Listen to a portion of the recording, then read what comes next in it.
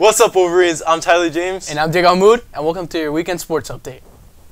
Your, vars- your Wolverines varsity football team took on Cardinal Gibbons this past Friday.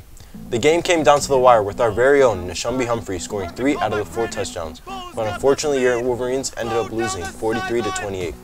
Your Wolverines' next game is October 20th versus Gulliver. The Belen cross country team made a long trip this past Saturday to North Carolina for the Great American Cross Country Festival. Belen earned the team title, scoring 65 points. Belen last competed at the Great American in 2019, and the team had never won the 24-year-old annual meet. This meet is one of the largest in the country for 4,000 athletes competing in the two-day running festival.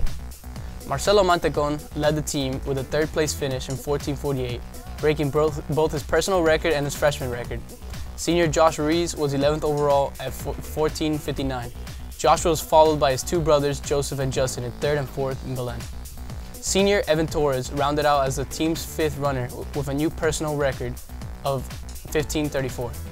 Their upcoming race is next weekend in Stewart for the Fleet Feet Invitational, October 21st. The Canes had a heartbreaking defeat this past Saturday against Georgia Tech. The Canes fumbled with 26 seconds Miami left. is doing. With two big plays from Georgia Tech, they took the lead and won the game, 23 to 20.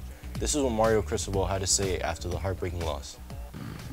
Thank you for your patience. Obviously disappointing. Um, a lot of different aspects. Um, obviously, um, again, just fell short in so many different ways. Battled. Uh, there were some signs of life um, in um, not having a great first half, but coming out second half doing some things and falling behind and getting up again.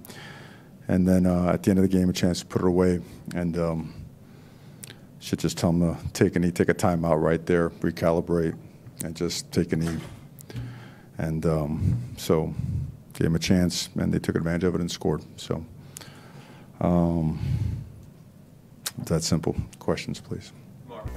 Your Miami Dolphins dominated the Giants from start to finish with Tua Tagovailoa throwing for 308 yards and two touchdowns, and Tyreek Hill finishing with 181 of those yards and a touchdown. Your Miami Dolphins improved to 4-1 for the first time since 2003. Lionel Messi and Inter Miami suffered their first loss on Saturday since Messi has joined the team. FC Cincinnati defeated Inter Miami 1-0, which ended the club's hope of reaching playoffs. Now we have the play of the weekend.